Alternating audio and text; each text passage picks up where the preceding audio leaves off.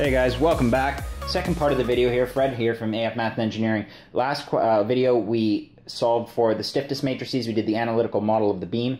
Now we're going to move into assembling the structural stiffness matrix, okay, and then we're going to move into the joint load vector and the um, the joint load vector and the fixed end moment vector, which is the vector p. So let's go ahead and let's get into the question. So uh, we, where we left off, we left off on step two, okay, which was to find the K matrices. Now we're moving on to step three. Step three is going to be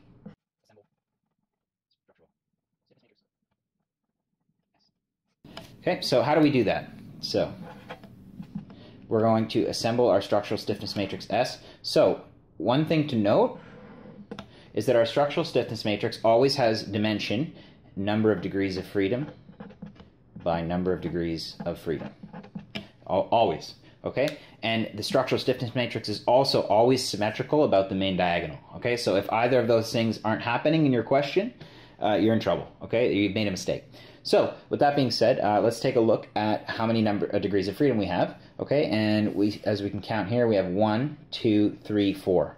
Right. So we are, we're always going back to our analytical model to check what we're doing. Okay. So we have four degrees of freedom. So this is going to be a four by four matrix.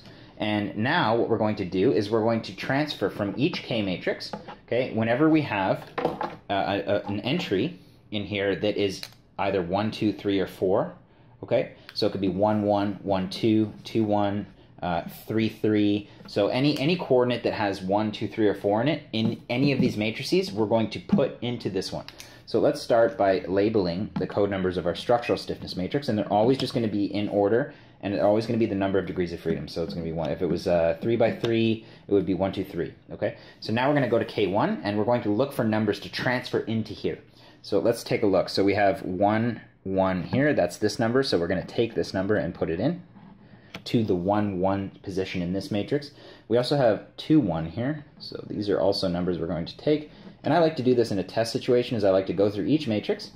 And unfortunately, your calculator can't really do this. You're going to have to do this by hand and you're going to just go to each matrix here and you're going to highlight which numbers that you want to take into your structural stiffness matrix. Okay. Okay, so we have 3, 2, 2, so all the 1s, 2s, 3s, and 4s. All the other numbers we're not going to use for this step. But still write them down because you might need these matrices, matrices later. And finally, in the last question, we only actually have two entries here. We have three and four, so we'll have four numbers that we want to take with us. Three and four, okay? So what we've done is we need to take all of these numbers and we need to put them into this matrix, okay? So I'm going to do a couple of them to start, and then I'm just going to fill it in for you because you don't want to watch me uh, do that for, for too long because that's boring. So we have 1, 1. Okay, so let's just do the first entry. Okay, so we have 13,533. I'm just going to do the, the, the, rough work over here so I don't fill up my matrix, okay? So this is the first entry that we're doing right here, okay? This entry. So we're going to add up all of the different one ones that we have in all the matrix matrices, and that's going to be this entry here. So where, where do we have? We have 1, 3, 5, 3, 3, plus 3, 0, 4, 5, 0. And if we add those two up together, we're going to get a value of 43,983. Okay, and 43,983 is the number that is going to come over here, and we're going to put that in here. Okay, and it's as simple as that. So just go through all of these, and if you want to like even come over here, and maybe just mark it so that you know you used it or something like that. It's up to you. You'll find the best way to do it.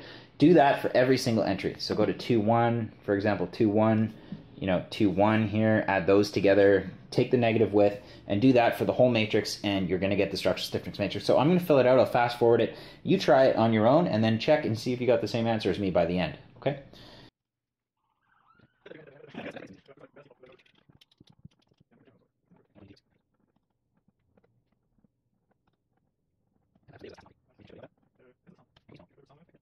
So what do we have here? We have the structural stiffness matrix S. Okay, so we've assembled it. So we've gotten the K matrices and we've transferred the pertinent values of the K matrices into our S matrix. So that's step three. And we're going to need this for the next step, okay? But I'm going to put this to the side for now. All right, and we're going to come back to it, and I'm going to write out step four for you. Okay, so those are P and PF. All right, so how do we find those? Very simple, actually, and I'm just going to go ahead and bring this over here for you, just so you can take a look at the analytical model while we uh, while we work. So, because we do need the analytical model for this. And we also need the initial model, actually. So what I'm going to do is I'm going to bring this over here, okay, and I'm going to show you the analytical model and the initial model with the loads on it, so you can uh, so you can understand what's going on here. Okay, so um, for the uh, let's do the joint load vector first. So the joint load vector we did that in the last video. Essentially, that's just if we have any uh, joints, uh, uh, the degrees of freedom have direct point loads on them. Okay, so that would be, for example, our joint 2 here has a load of 200, joint 3 has a load of 90, uh, it's a moment, and that's it, pretty much, okay? So that's, that's pretty much all you need to do here. So for P, for the first part anyway, so P, which is our joint load vector, because we have four degrees of freedom. Just keep that up there for further notice. And, okay, so let's take a look at, let's number our code numbers. So our first degree of freedom is here, right? And we have a negative 200 kilonewton force there. Uh, our second uh, degree of freedom is a rotation. We don't have any rotation at this point, so that's zero.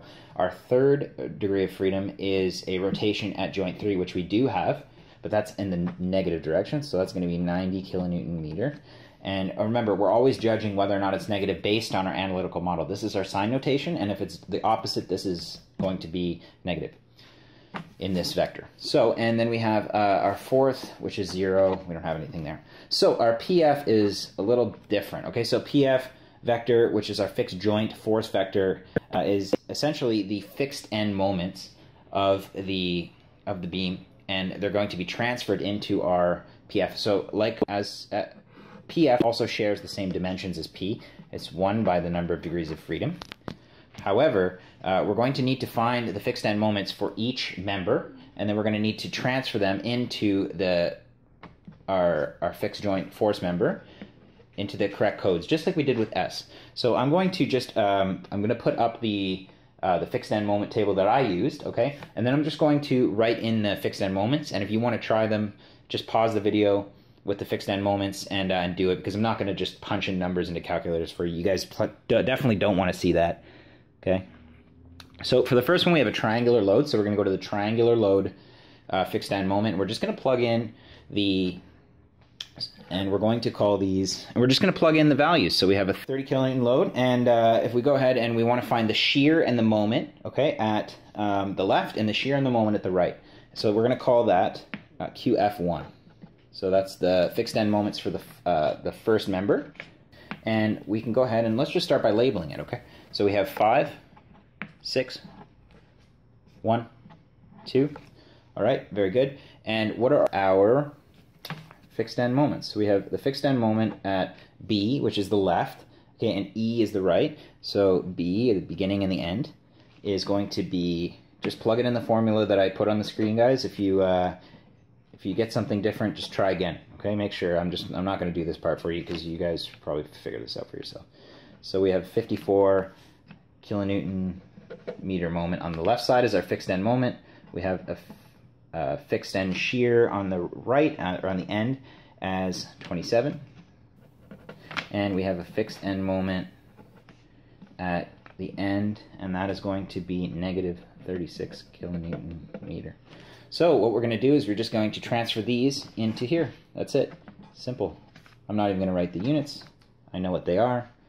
4, 27, and negative 36. Perfect. So, like we did before, we're only going to transfer the numbers from Q, or QFs, and we're going to have two more, and I'm just going to fast forward and write them out for you. We're only going to transfer the numbers that are have the number of degrees of freedom. Okay, so 6 and 5 we're not concerned with. What we wanted to put into PF, we're going to only be considered with the degrees of freedom or the values in the vector that correlate with the degrees of freedom. So those are going to be those two, and those are going to go up here. So let me uh, write out the last two. I'm going to fast forward this for you, and then you can come back and we can transfer.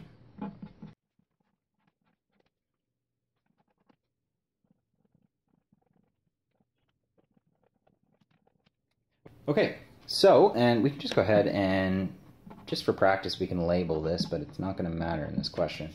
So, um, what do we have here? Well, uh, as we can see, this the fixed end moment for member 2 is 0 because there's no external forces acting within the within the member. But on the third member here, we do have this uh, 150 kilonewton force acting point load in the middle. So that does cause um, another set of fixed end moments. So, uh, do we have any number entries here that correlate with degrees of freedom? We do. We have 3 and 4.